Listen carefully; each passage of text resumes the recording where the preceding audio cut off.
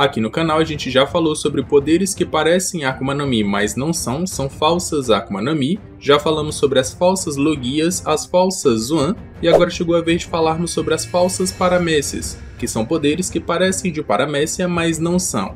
Vamos entender o porquê a Logia do Teach parece uma Paramécia, mas não é, e porque a maioria das Zuans míticas tem poderes de Paramécia. Nós vamos comentar sobre tudo isso nesse vídeo aqui, e se você ficou curioso, segue comigo, já deixa o like, eu sou o Lucas e você está no canal Histórias OP.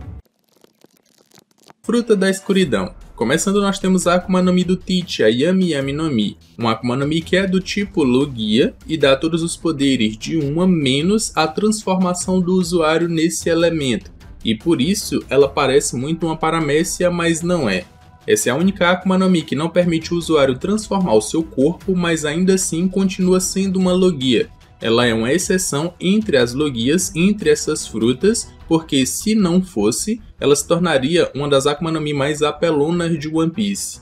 Inicialmente, o usuário pode criar trevas à vontade e essas trevas vão engolir tudo o que o usuário quiser, levando para uma outra dimensão de trevas, onde tudo é destruído e esmagado, até que o usuário possa repelir tudo isso de volta para o mundo real. Agora tu imagina só o quão apelão isso não seria se o próprio usuário pudesse se transformar em trevas. Não teria como vencer essa pessoa. Esse poder seria muito apelão. Então, para nerfar ele, o Oda deu meio que uma característica de paramécia, que é o usuário só criar esse tipo de névoa, mas não poder se transformar. Não só isso, mas o usuário toma duas vezes mais dano que qualquer outra pessoa tomaria recebendo um ataque. Tudo isso em troca de uma outra característica desse poder, que é quando o usuário tocar outro usuário de Akuma no Mi, é como se ele estivesse anulando o poder daquela pessoa ela vai se tornar uma pessoa normal e vai tomar danos normalmente como qualquer outra pessoa tomaria que não é usuário de Akuma no Mi.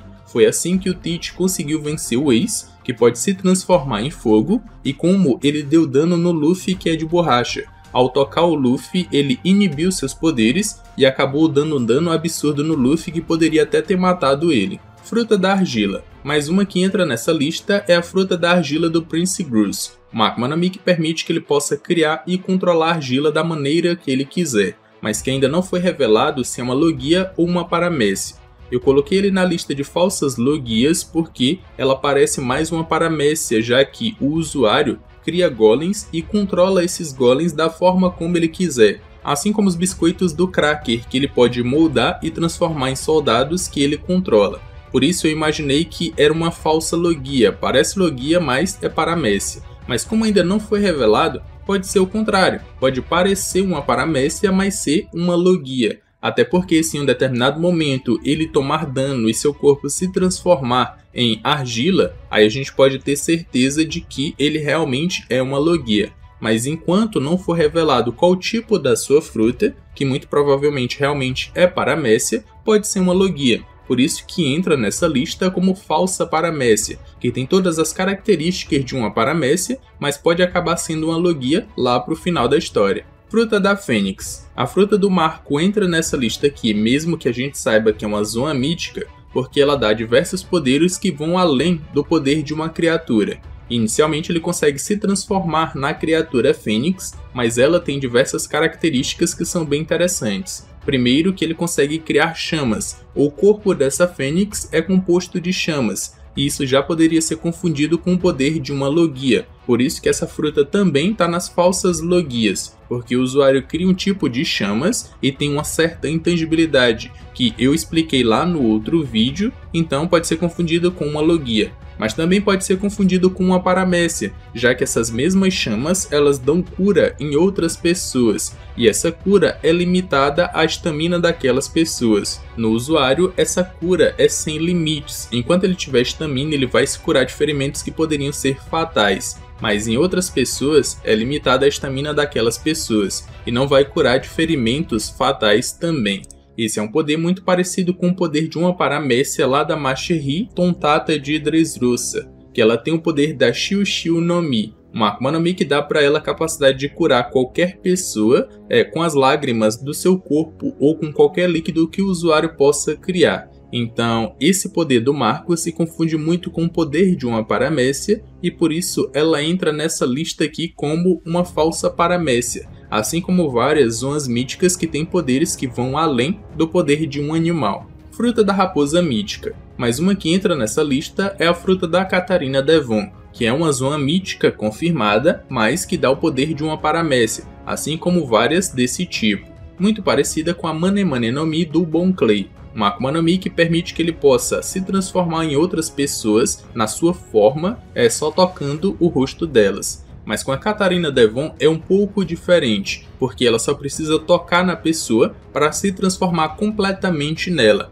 tanto em aparência quanto em roupas e até o jeito de ser ou de falar daquelas pessoas. Esse é mais um poder dado por uma zona mítica que tem um poder que vai além do que o poder de um só animal. Nesse caso, a raposa mítica da Catarina Devon permite que ela possa se transformar em outras pessoas, assim como o poder de uma paramécia que já existe. E eu até já fiz um vídeo falando sobre poderes que parecem iguais, mas não são. E se vocês quiserem assistir esses vídeos, eu vou deixar um link no card aqui em cima para vocês. E se você estiver gostando desse vídeo, já deixa aquele like e se inscreve no canal se ainda não for inscrito. Aqui a gente tem uma playlist completa só falando sobre falsas logias e falsos tipos de Akuma no Mi aqui em One Piece. E se você quiser assistir esses vídeos, o link vai estar no card aqui em cima para vocês. Fruta da borracha. A gente não poderia deixar de fora a Akuma no Mi do Luffy, que era a Gomu Gomu no Mi e passou a ser a Hito Hito no Mi modelo mítica de Nika. Esse aqui foi o maior bait que o Oda já lançou em todo o One Piece fazendo a gente pensar que o protagonista tinha uma fruta muito fraca que, com a sua imaginação, se tornou uma fruta muito forte, para no final revelar que ele sempre teve uma fruta bem apelona, que era a fruta de um deus. Ele até menciona na obra que a Gomu Gomu no Mi nunca existiu, ou nunca existiu uma fruta da borracha na enciclopédia das Akuma no Mi mas a gente sabe ou sempre conheceu Luffy com a Akuma no Mi da borracha, que permite que o seu corpo tenha propriedades elásticas e ele pode usar a imaginação para criar diversos tipos de ataque, só se esticando e comprimindo. E foi assim ao longo de toda a obra até antes do arco de Wano, porque todas as transformações do Luffy tinham uma explicação ele inflava os seus ossos, os seus músculos e por aí vai, inflava o seu corpo de alguma forma e juntava isso com o haki do armamento, e aí ele criava diversas transformações. Até esse ponto era uma paramécia. Mas no seu despertar, ele acabou ganhando a forma de uma criatura mítica de Nika, e foi revelada sendo uma Akuma no Mi do tipo Zoan mítica, assim como outros poderes dessa lista também. E por que esse é o maior bait do Oda em One Piece? porque se é uma zona mítica, o despertar dessa fruta seria uma transformação como Luffy ganhou no Gear 5, que ele se torna todo branco. Mas também por ser uma paramécia ou ter sido uma paramécia, o Oda deu um outro despertar para essa Akuma no Mi, que foi transformar um ambiente ou dar propriedades elásticas para um ambiente, assim como seria o despertar de uma paramécia da borracha.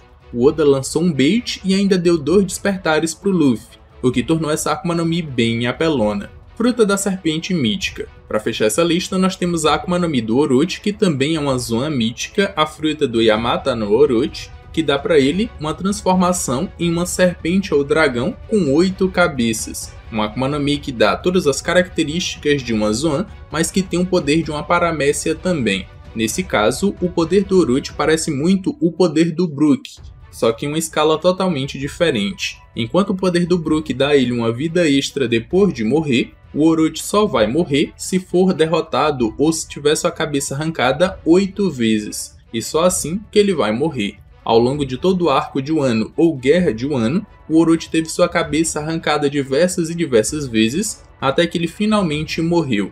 Então, esse aqui é um outro poder que é uma Zoan, mas que tem o poder de uma paramécia também, assim como várias zonas míticas nesse vídeo aqui. Além de que tem outras zonas míticas que têm outros poderes, mas são poderes que parecem mais uma logia do que qualquer outra coisa. A do Orochi, assim como as outras dessa lista aqui, parecem ou dão um poder de uma paramécia e por isso elas podem ser consideradas falsas paramécias. Então, para o Orochi morrer, tem que ser morto oito vezes para contar, e aí ele realmente vai morrer, o seu poder vai reencarnar. Com o Brook, ele só precisa morrer uma vez e seu poder traz ele de volta à vida. E o Brook só vive hoje em dia como esqueleto como uma consequência não calculada do seu tipo de poder, porque se a sua alma tivesse voltado com seu corpo normal, ele teria morrido no Triângulo de Florian depois de passar 50 anos preso lá. Mas como sua alma voltou quando ele já era um esqueleto, ele não precisou ter suas necessidades básicas supridas e até ganhou meio que uma imortalidade. Ele não vai morrer a não ser que matem ele de alguma forma, quebrem os seus ossos, que é onde a sua alma está contida. Mas de todas as formas, o Orochi tem um poder muito parecido com uma paramécia. Mas agora chegou a sua vez de participar desse vídeo. Existe um outro poder que eu não citei nessa lista, mas que é uma falsa paramécia? Comenta aqui embaixo que eu vou estar tá vendo e vou estar tá dando coraçãozinho para vocês. Aqui na tela final está aparecendo outros vídeos sobre falsas Akuma no Mi que eu acredito que vocês vão gostar. Já deixa aquele like, se inscreve no canal se ainda não for inscrito. Eu me despeço por aqui, um abraço e valeu!